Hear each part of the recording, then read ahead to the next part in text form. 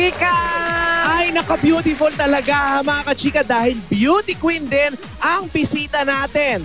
The first Filipina Reina Hispano-Americana, Wow! Miss Teresita Marquez, also known as Win-Win. Naku, ano kayang secret niya? Naku, malalaman tinuruan natin kaya yan. siya ng tita niya si Melanie Marquez? Pwede. At saka ano naman kayo reaction ni Chong, si Daddy Joey niya? Alamin natin yan dito lang sa The Lola's Beautiful Show! Reggie! Nako, Paskong Pasko na ang ating kabahayan at maraming maraming salamat sa maagang pabasko nyo sa amin sa pagpapanood nyo at pagsuporta sa movie namin Yes, mga salamat. lola. Sa- sa- Ate, Ah, ate. Halik, halika dito. Magpasalamat ka naman sa kanila. Halika, halika, halika. nagpasalamat ka dali. Salamat. Naamoy mo pa. Hindi. Ano nangyari sa'yo, ate? ano ba yan? Nawala ba yung pustiso mo? Hindi ah. Ay, ano ko yan? Bakit ang putla ng labi mo, ate? Nako, nagkutkot ka na naman ng buto ng kalabasa, no? Oh, baka... Ate, may tipos ka, ate! Ate! Ano ba? Ibos agad. Hindi ba pwedeng low blood muna? Hindi mga tol. Kasi oh, Ano? Anong nangyari ba, tol? Mga tol. Ano, tol? Ano ba, tol? kasi mga tol, naputol tong lipstick ko. Oh, hindi ko na maikabit. Ah! Ano ba ito? Ah! Ay, nako, Ay, hindi ako nakapaglagay ng Ayan. lipstick. Halika. Ayan, Tidora, dahakan mo, dahakan mo. May dahak ako dyan. Yan, maputla ang labi ko. Ito ang ating dahak for today, mga kachika. Oh, makinig Ayan. kayo mga kachika. Para sa mga lipstick na putol na, ang kailangan nyo lamang ay... Ito, tissue. Ay, tatapon. Hindi pwedeng tissue, ha? Kailangan tissue. Tissue, ah. Tissue. Pag tissue maliit, Tapos kandila. Kandilwa. Kandila. Cotton buds. Wet ones. Wait, one? Tsaka posporong. Alin? Posporong. Passport. Ganyan, ha? Hindi pwede posporo. Posporong. hindi Tapos? ba pwedeng, hindi ba pwedeng light one? Ah, pwede light one. Basta Sin- sumisindi, ha? Sindihan ang ating kandila. Ngayon, ilatag muna natin ang ating Tissue. tissue. Tissue. Sa ating. Ay, buwa. Yung tissue, gawa sa mismo. Tapos sindihan ang ating kandila. Sinduhan. Yan. Ah, so, hindi Hindi ganyan, ate. Ano ba? O, tap- ba gawin niya? Tapos, ito ating lipstick, di ba? Ay, putol! O, putol. Ngayon, papainitan muna natin yung dulo. Konting init lang ha, kasi matutunaw yung Sa plastic. kilikili ko na lang, konting init lang pala eh.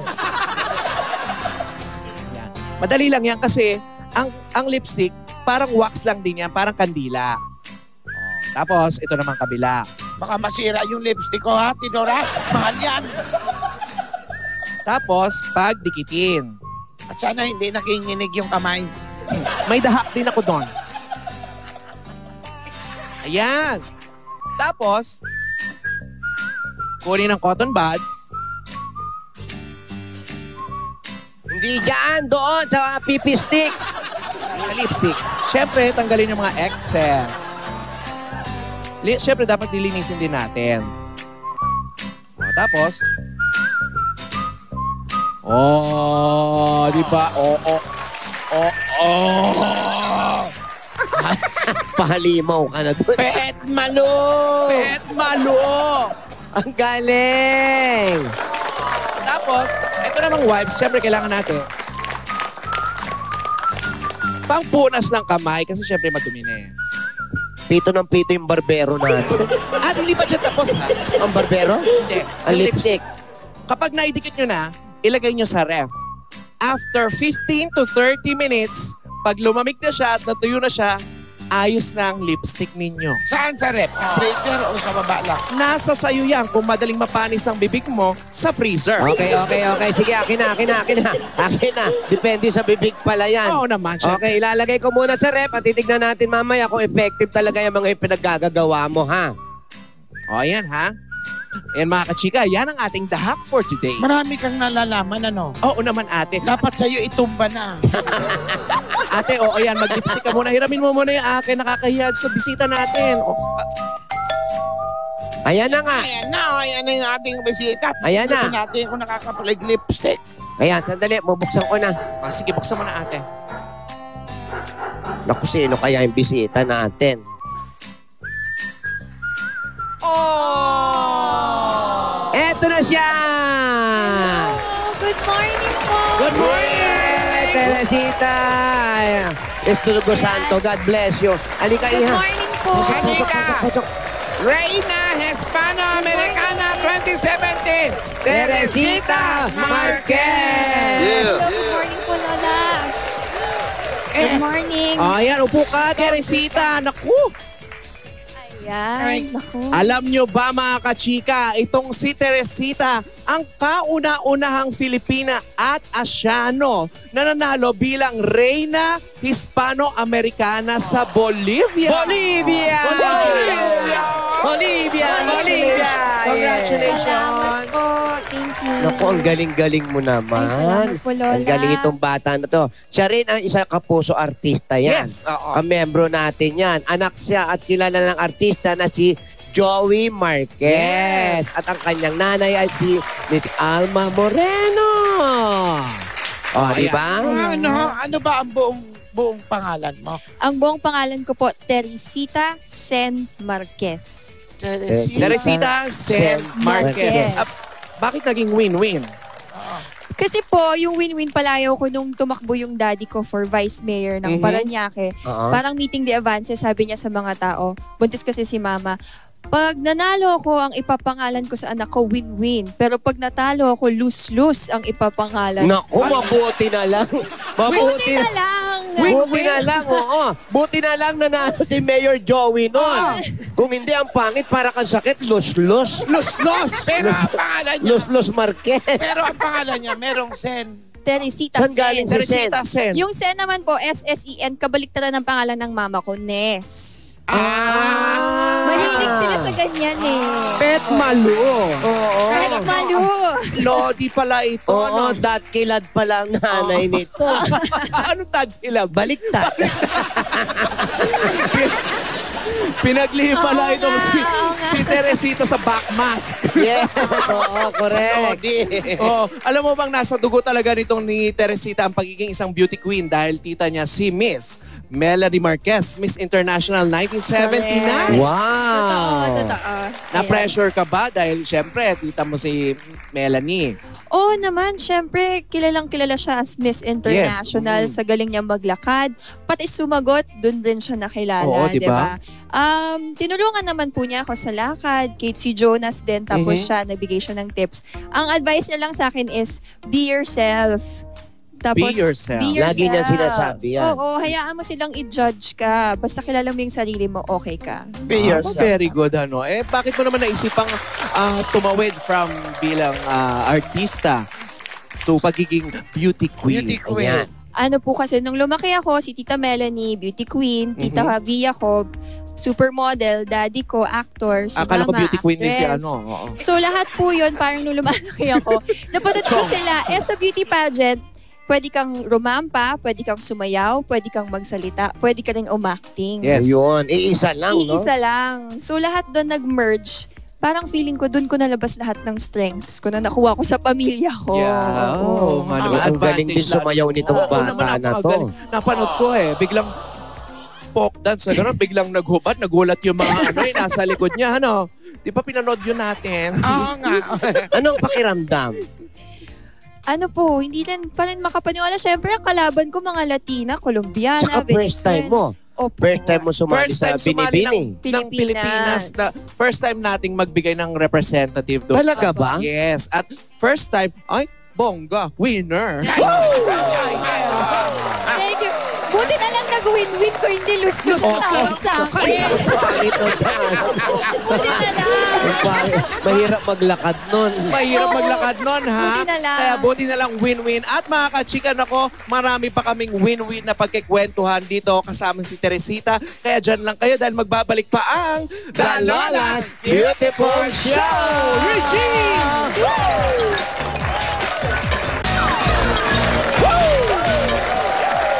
Welcome back mga kachika. Kasama pa rin namin si Teresita Marquez.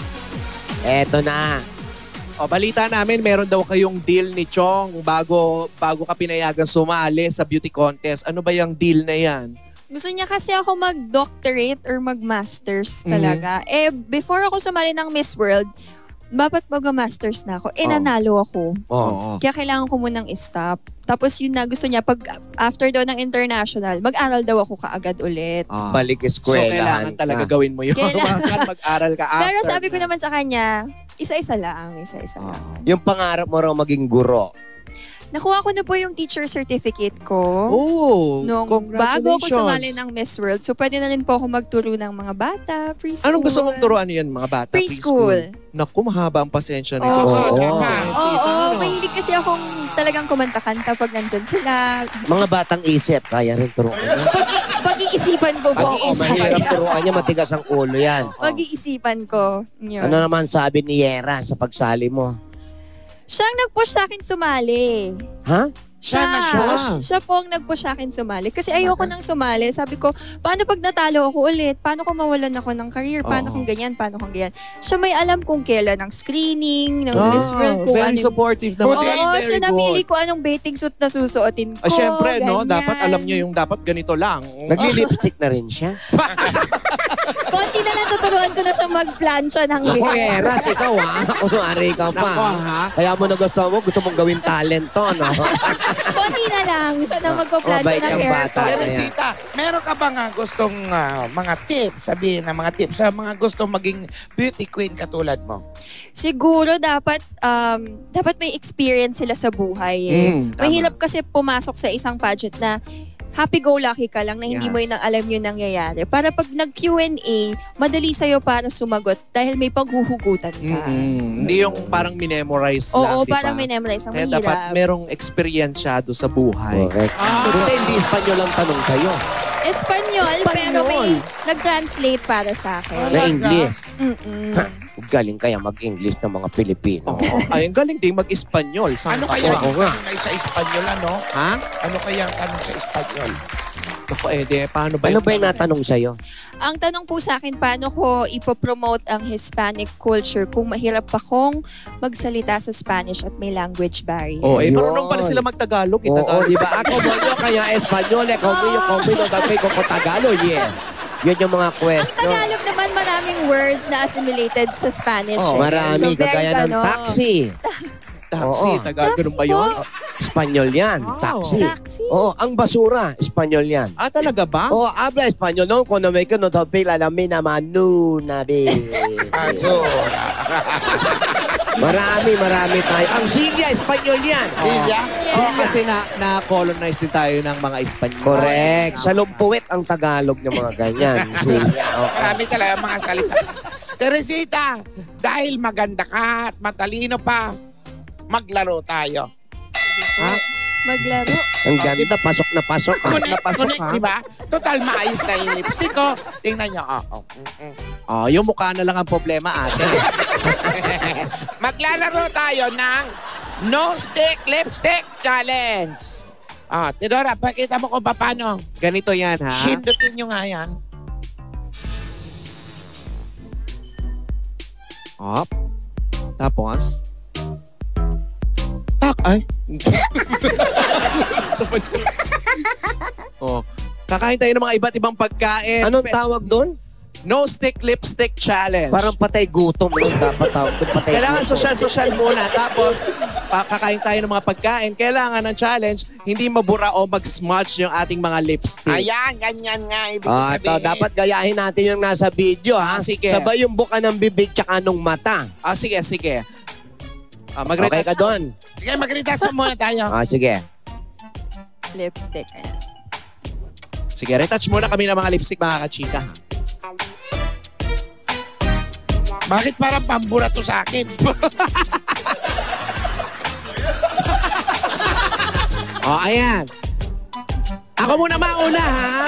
Sige, sige. Ako unang kakainin grapes. Grape sa'yo. ah. Sabay ang buka ng bibig tsaka ng mata.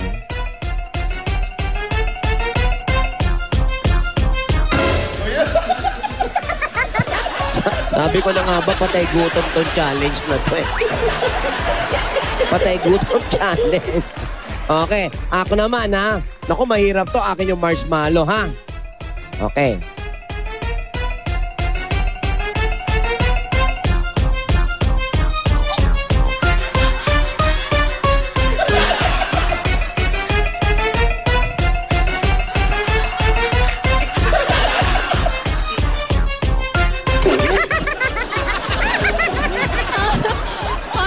Tatapatan yun? Ayan, ang galing mo, Tinidora. Teresita, dahil ikaw naman ang Reyna Hispano-Americana, ito yung sa'yo, Spanish bread. Kala ko, kala ko Spanish sardine. Sino kalata? Paano to? Oh, Hindi ko naku kaya. ha. Kailangan may points pa rin. Oo, siyempre, Reyna. Sabay yung mata ha, tsaka yung bibig pagbuka. Maganda pa rin. Maganda pa rin. Grabe naman to. Winner talaga. Oh. Ate, ikaw naman. Sige, ano sa akin? Yung hotdog. Hotdog lang yan lang. Oh, Yes. kasama yung tinapay. Ano ka ba syempre kasama yung tinapay ate? Ang galing nyo talaga, no? Eh di lagyan nyo ng challenge. O lagyan mo ng grape. Oh. O panito, Spanish Yan. bread. oh, sabay ang buka. Tanggalin mo yung mic mo. Baka maka... Ah, sabay ang buka. Ready? Ay ate, walang dayan. Isusubok kakainin ha? Ready? Kami kinain namin. Ilayo mo yung daliri mo ate ha? Sinusukat mo ha? Ready? Go, ate.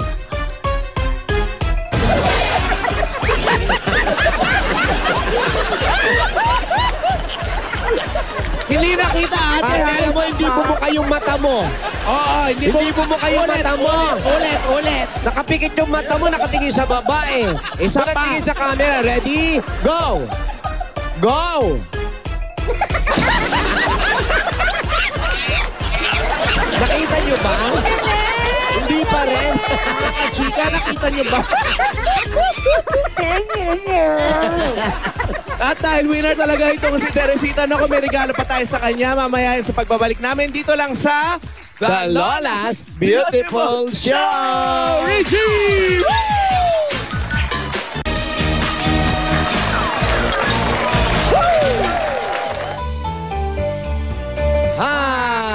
Hi! Tidora, ano ba? Kanina ka pa nakatitig dyan sa laptop? Ano ba naman kayo mga ate? E binabasa ko lang naman yung mga nagpadala ng mga Christmas wish dito sa Give Love on Christmas Day ng Eat Bulaga. Ah. Eh, Speaking of Christmas wish, mga kachika, eto na ang quote of the day para sa Give Love on Christmas Day. Ah, di ba? Ganun kadali lang. Kaya mag-email ng inyong mga Christmas wish sa givelove, dabarkads, at gmail.com. Tapos, huwag niyo kakalimutan ang inyong name, address, at contact number. At syempre, ang code of the day. Email na! Oh, Yan, Teresita, maraming salamat sa pagbisita sa amin. Thank you din po. At eto naman ang maagang pamasko sa iyo ng Ay, mga lola salamat. mo. Yan, Mabigat, para ha? sa'yo. Oo. mabigat yan. Sige, open it. ano yan eh? Tabla. Marble. Ang lagay sa floor. Sige, okay lang. Warakin mo na, carry lang. Ano kaya yan? Ano? Maaga pamasko yan sa iyo ng mga lola. Oh. Ay, thank you po. Na-inspire Ayan. ako makuha talaga yung licensure exam ko. Sana pumasa ako. Thank you. Thank you. Salamat din dahil beauty queen ka na ngayon. At harapin mo naman ngayon para to pa rin ang pagiging teacher. Thank you po. Thank you. At maraming sigurado akong na-inspire na kabataan ngayon dahil ah, ngayon pa lang napaka-inspiring mo na. Kasi may puso ka para ay maipamahagi ng ang kaalaman sa iyong kapwa. Ayun, Ayan. no, mga kachika. ha? Ayan, nakita natin. Congratulations Thank ulit. you po. Thank you po talaga. Naku, sana mga dire-diretso yan. Pero mga naku eh, ang gandang bata. Lagi niyong tandaan. Lahat kayo, yung mga nandyan, yung nag-aastig-astig, yung nag beauty queen. Huwag kang umastang beauty queen kung ang beauty mo naman ay bitin. Di ba? At naman, kapag labi ay anemic, sa lipstick kumapit. At mga apo, tandaan nyo, gaya ng winning answer ni Teresita, kindness is a universal language. Kaya kahit meron tayong mga pagkakaiba, laging maging mabuti sa iyong kapwa. Ayan. Salamat Salamat. again, Teresita. Thank you.